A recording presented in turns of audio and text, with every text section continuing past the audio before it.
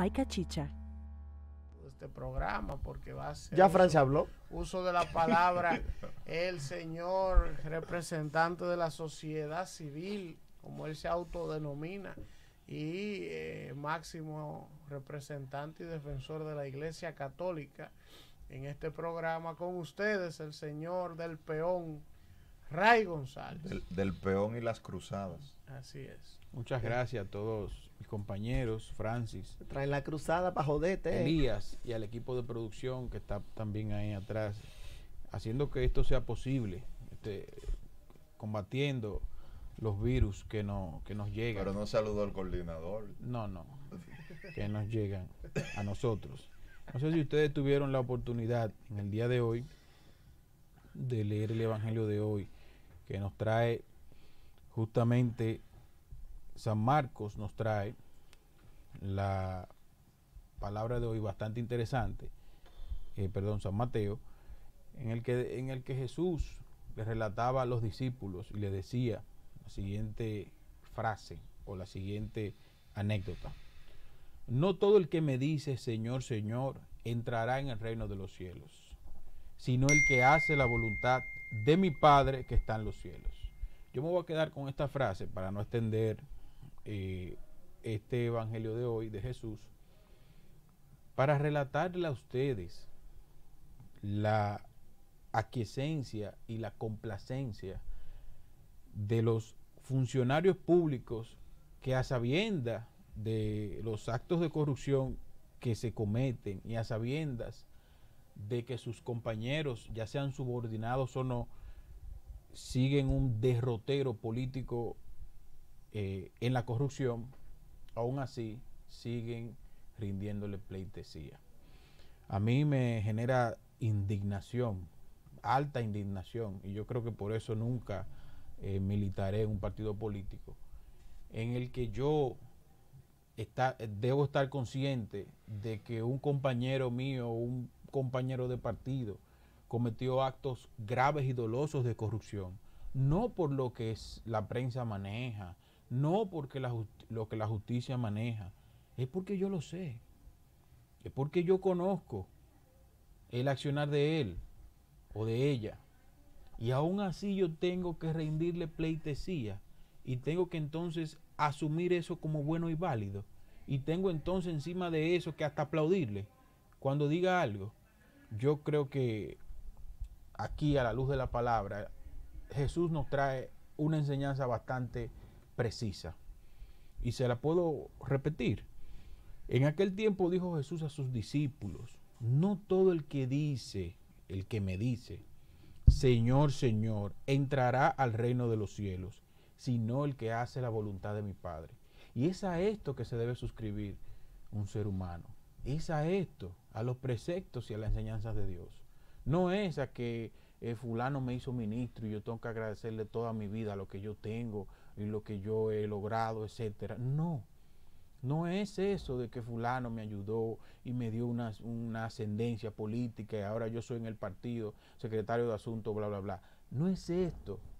No es esto que el Señor quiere en el día de hoy. El Señor lo que quiere es, y así lo dice a los discípulos desde esa época, que tú hagas las cosas que tienes que hacer de manera correcta y que tú hagas las cosas eh, de manera ética, con los valores y las enseñanzas que Dios nos está dando. Igual dice, a lo último, el que escucha estas palabras mías y no las pone en práctica, se parece a aquel hombre necio, oigan esto señores, que edificó su casa sobre arena, cayó la lluvia, se desbordaron los ríos, soplaron los vientos y rompieron contra la casa y se derrumbó. Y su ruina fue grande. Entonces ya nosotros estamos viendo, gracias a la Procuraduría, cuáles son esos hombres necios. ¿Cuáles son esos hombres que por necedad construyeron esa casa, construyeron esos apartamentos y todas esas riquezas en arena? Construyeron un sinnúmero de, de un patrimonio, construyeron todas esas riquezas mundanas en arena. Y es por esto que Jesús nos trae esta palabra de hoy, para que nosotros nos demos cuenta de que construyendo en ese, en ese terreno que no es para nada fértil, al final todo se derrumba, tal y como lo dice Jesús. en la palabra de hoy. Y tal y como dice, todo aquel que me dice, Señor, Señor, eso no le garantiza su entrada al reino de los cielos. Eso no es una garantía que tú le rindas pleitesía a, a una persona que tú entiendes que te ayudó políticamente o que te ayudó económicamente. Una cosa es ser agradecido, eso sí, de eso estamos claros. Y otra cosa es tú sacrificar tus valores, sacrificar tu formación, sacrificar tu ética, tu pudor. No, pero espérate. ¿Y qué fue lo que te dio? La vida, mínimo. Fue la vida que te dio, mínimamente. Porque al, uno, al único que tú le debes agradecer de esa forma es a Dios. Y en segunda opción a, a- a tu- a tus padres.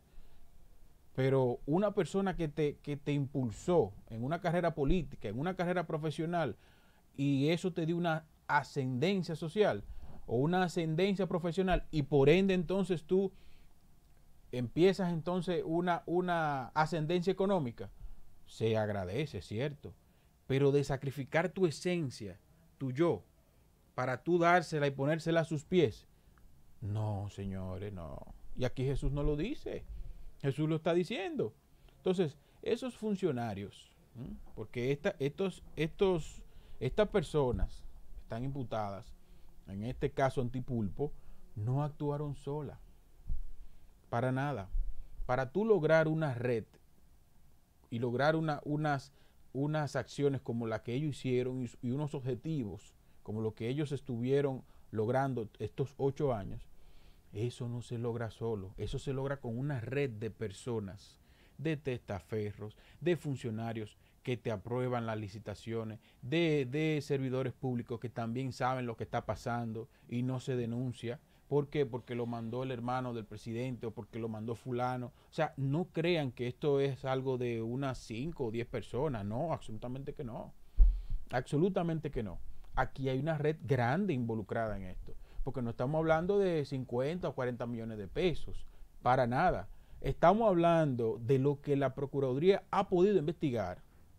De 4.800 millones de pesos. Ustedes están oyendo, señores. 4.000 y tantos millones de pesos. Pero es una locura. Es una locura. Solamente a la Policía Nacional, las empresas de esta persona, le vendieron más de 300 millones de pesos en combustible. Ustedes están escuchando, señores. ¿eh? Eso incluso atenta ante, ante la libre empresa y ante la competitividad. Eso atenta con todo el sistema y todo el aparato productivo del país. Porque entonces yo que soy un empresario digo, pero ven acá, ¿y cómo a qué le dan estos contratos que ni siquiera en su esencia empresarial vende combustible o vende eh, aparatos médicos o vende un sinnúmero de insumos eh, de oficina? Si no esa no es su esencia como comerciante ni como empresario. Yo que tengo 20, 30 años en ese sector, estoy poniendo un ejemplo, no es que yo tenga ese tiempo, no, no, estoy poniendo un ejemplo de otro empresario, un empresario que tenga 20 o 30 años en ese sector y que no ha ganado nunca una licitación al gobierno, por eso que no se cree en el Estado, por eso que tú no crees en las leyes y en lo que realmente permea la estructura jurídica del Estado. Es por eso que la gente, el ciudadano, no tiene esa credibilidad en los procesos eh, eh, de licitación ni nada por el estilo, porque se pierde la credibilidad cuando, cuando vienen estos casos. Yo no me imagino ese microempresario que apenas le deben un contratito de un millón, dos millones de pesos porque le suplió al Estado un desayuno escolar y todavía no le han pagado desde hace más de dos años, tres años, no sé cuánto. Yo no me imagino un, un microempresario que tiene una pyme que le suplió al Estado un- unas, unos insumos médicos en una licitación que ganó por suerte y todavía se le debe tres o cuatro millones de pesos. Yo no me imagino lo- la indignación que siente cuando ve ese tipo de acciones como, como que estamos viendo ahora.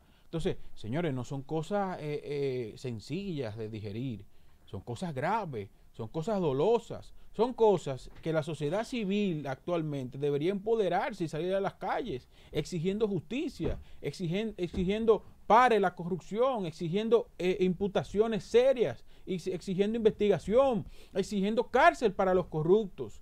Hasta que ese cáncer de la corrupción no salga de nuestro país, no salga de nuestra sociedad, desde lo más grande hasta lo más chiquito, no vamos a crecer ni vamos a desarrollarnos como sociedad. Siempre vamos a estar anquilosados.